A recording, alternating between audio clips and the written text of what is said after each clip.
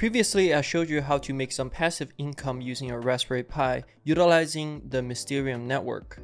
Today, I'm bringing you another video on how to make some passive income with a Raspberry Pi or any other hardware computers laying around in your house. Please allow me to introduce the very first decentralized search engine, Presearch currently with 1.3 million searches a day, powered by the community and leveraging the blockchain technology with only 500 million pre-tokens in total supply. I recently interviewed the founder and CEO of Presearch, Colin Pape. There was a total of 15 interview questions, and he was able to give us some insights on hardware miner release timeline and estimated mainnet launch. I will link the video in the description below. Oh, by the way, I'm Modo Tech. If you're new to the channel, please subscribe and like our videos. For every like we receive, $1 will be donated to support a different charity each month. You can check out our previous donations under our community tab. Previously, we have supported UNICEF and Ida Hurricane Relief. Alright, without further ado, let's get this started.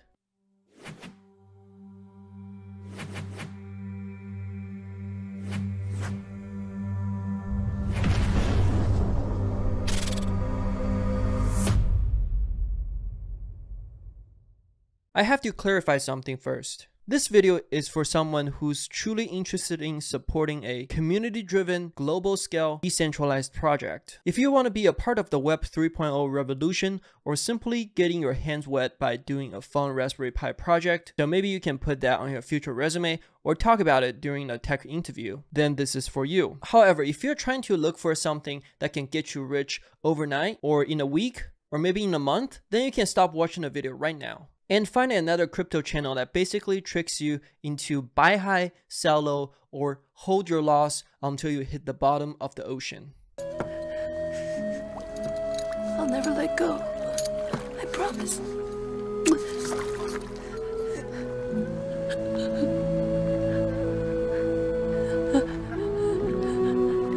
Alright, I get it. Some people would say, hey, pre-token was at 4 cents last month, and a month later, it's already at 24 cents, a 600% gain. Please stop. We are talking about a multi-billion dollar business model here. Presearch is changing how we search and changing how business can do advertisement by introducing its revolutionary idea called keyword staking. Basically, you can do advertisement for free as long as you hold some pre-tokens. If you look at one of Presearch's biggest competitor, DuckDuckGo, which is another search engine focused heavily on privacy, it only covers 1% of what Google search engine covers, but it's already worth over billion dollar. So this kind of gives you an uh, idea of how much potential Presearch has and think about it, there's only 500 million tokens. So I'll let you do the math. Finally, let's start our hands-on session. So their official documentation does have a instruction on how to set up a Raspberry Pi node. However, I will not set up the same way because I think my way is a little bit easier, especially if you have set up a cloud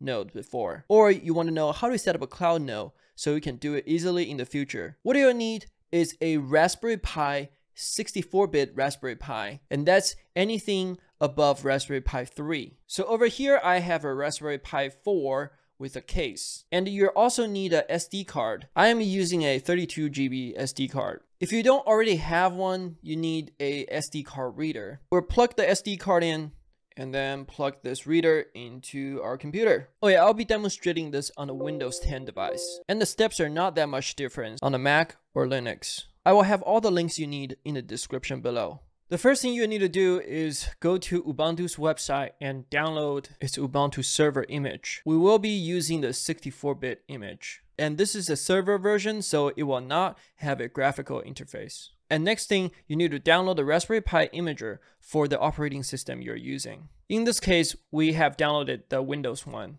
And then we will have to click Open File. We need to install the imager Run the imager once it's finished installing. Choose the operating system. We will go all the way down, use the custom image. You need to locate the image you downloaded earlier and choose that one. For storage, we'll choose the SD card we put in earlier.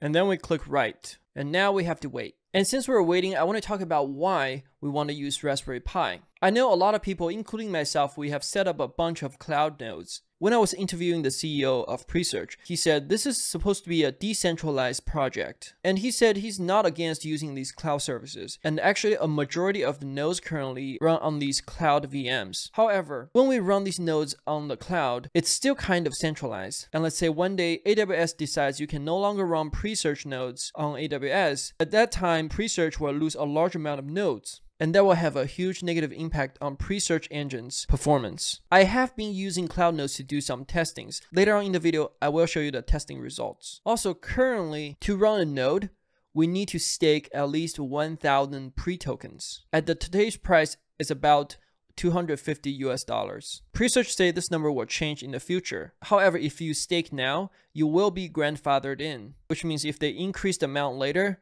you don't have to worry about it. For the nodes you staked with 1000 pre-tokens, you were still able to run the nodes at that time. Currently, they offer multiple ways for you to buy pre-tokens. You can either buy with credit card directly on their website, or you can transfer Ethereum or Bitcoin, or if you already have swapped some pre-tokens, let's say using MetaMask, you can just transfer those pre-tokens into your account. At the moment, you will also be able to earn some pre-tokens while you're conducting search that's right. And now I'll have one of my referral links below too. If you're new to Presearch, you can use a referral link to sign up and get 25 pre-tokens. Finally, it's done. It took a little bit over 10 minutes actually. We will close this. We're going to insert this SD card into the Raspberry Pi, make sure it's properly seated. We will also plug a ethernet cable. You can use Wi-Fi. However, uh, Wi-Fi is not going to be as good uh, because it will have a longer latency and uh, that means lower rewards. And that's actually pretty significant. We're also going to plug in the power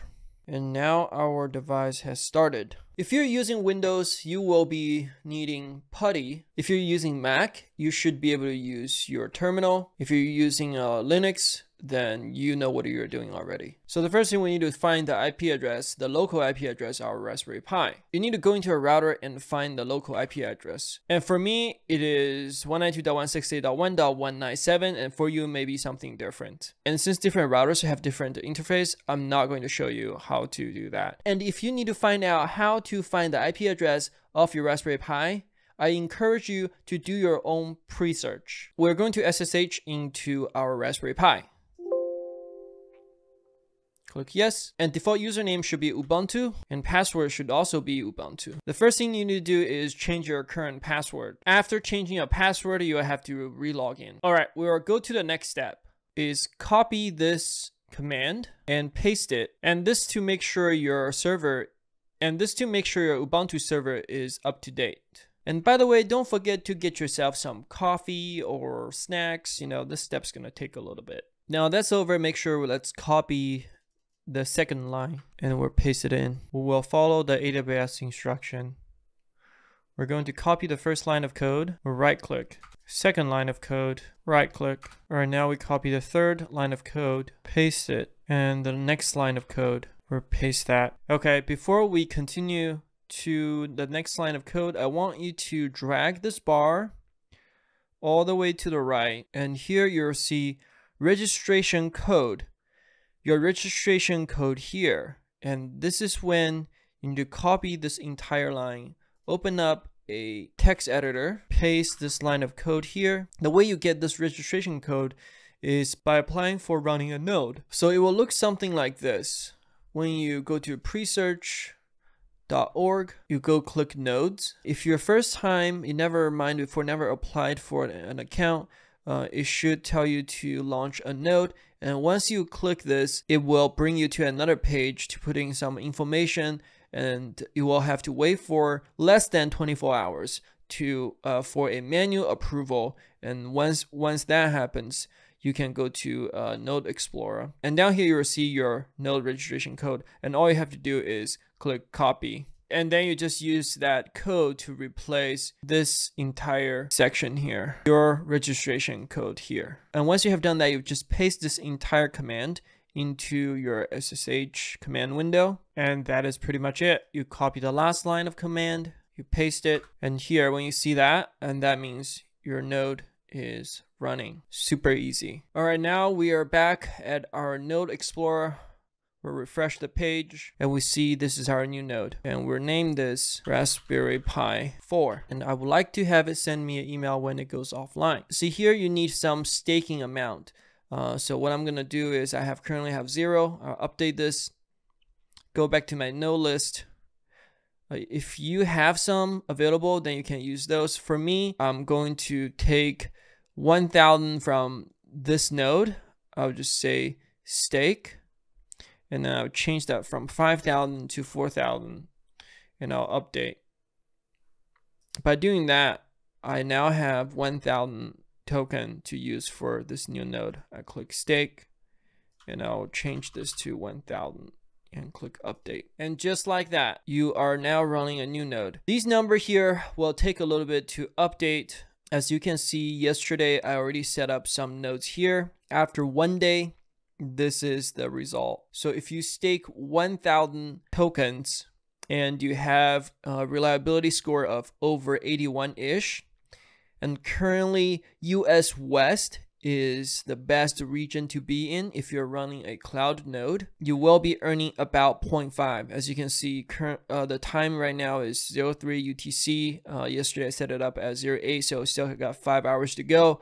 Uh, it will most likely hit 0.5. And there have been people asking, should I put more tokens into one node? And I've asked the same question in my interview with Colin Pape and uh, he said right now it's probably better to spread out your tokens to run as many lightweight nodes as possible so i wanted to do some testing to verify so i staked 2000 tokens and that only gave me 3.8 instead of if you look at here 3.3 3.2 uh, we're only staked 1000 normally you would expect that if you stake double you will be able to earn more pre, right? But no, that's not the case. As you can see, it was at 5,000, only got me around six pre tokens.